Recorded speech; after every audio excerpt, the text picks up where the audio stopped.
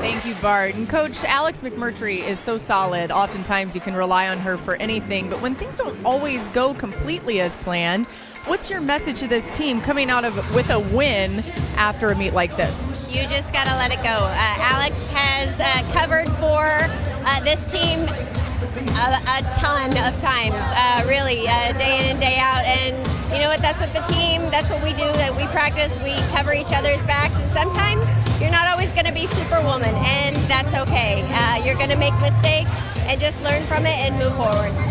Alicia Boren with an excellent beam routine, and you said her mom was watching for the first time tonight. I mean, what's the deal with that? Her mom needs to watch every time, right? I was so proud of Alicia. That's the best routine I've seen her compete, so that was great to see.